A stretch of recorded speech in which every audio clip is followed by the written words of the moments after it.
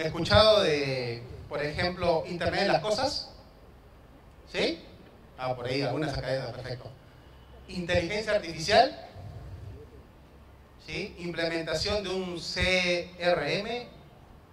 Implementación de un ERP. Ya. Facebook. Twitter.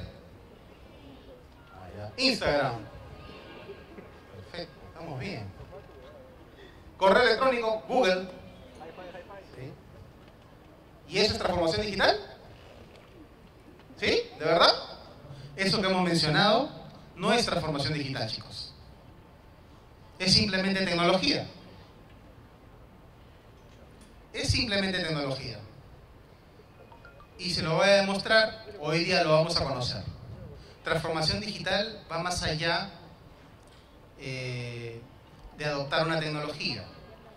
Cuando una empresa entra a realizar transformación digital, está hablando del cambio de los modelos de negocio que se tienen. ¿Qué es un modelo de negocio? ¿Saben qué es un modelo de negocio? Sí, es como opera una empresa, ¿verdad? Sus clientes, sus proveedores, sus costos, su estructura, su dinámica de producción, su segmentación de mercado, su core. Eso es un modelo de negocio. ¿Han trabajado con Canvas en modelar modelo de negocio, chicos? ¿No? ¿Han visto Canvas alguna vez? ¿No? El Canvas sirve, es una herramienta que te ayuda a ver cómo pones tú un modelo de negocio. Por ejemplo, este, a ver, se me ocurre un negocio. ¿Han usado Uber? ¿Sí?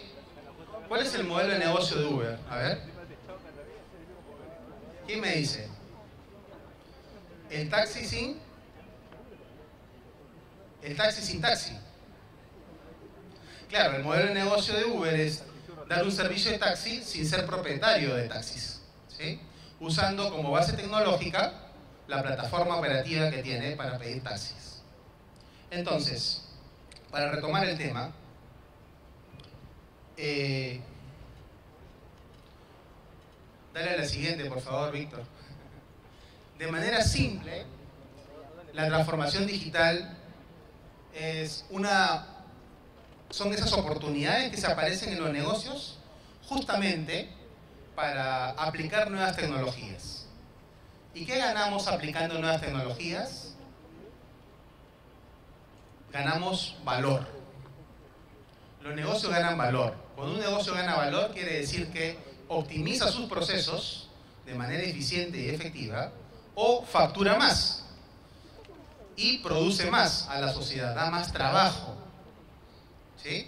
Entonces, la transformación digital implica que está alineada también a los objetivos estratégicos de la compañía. Oye, ¿qué es un objetivo estratégico de la compañía? Bueno, es el objetivo que la compañía o cualquier compañía apunta y que quiere lograr con el tiempo para hacer realidad su sueño, su misión y visión, el por qué está acá la empresa. He venido acá a celebrar los 10 años de la universidad y decirle un aplauso para la universidad. Y vamos por más. ¿no? Esa debe ser nuestra frase. Y vamos por más, así es. ¿no?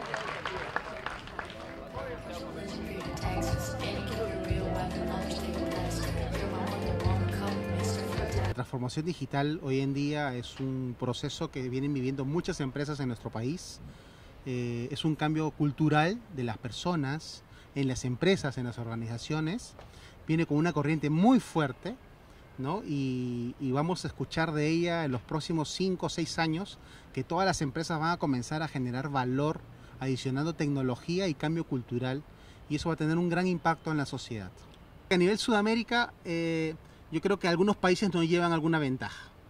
Porque la plataforma, y yo hablé, dije un mensaje de la plataforma, fíjense en el tema de la plataforma tecnológica.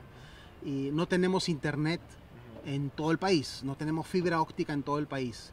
De hecho, el Estado ha iniciado eh, algunos concursos públicos donde se va a implementar fibra óptica a nivel nacional. Pero este es el primer paso, pues, porque al final es como construir la carretera. Ok, ahora hay que poner los camiones. Ahora hay que poner los servicios y los productos para transportar de un lugar a otro. Es un tema gradual. ¿sí? Si vamos a ponernos en la cancha de Sudamérica, yo diría que estamos al medio, a la mitad. ¿sí? O sea, no somos ni muy arriba ni muy abajo.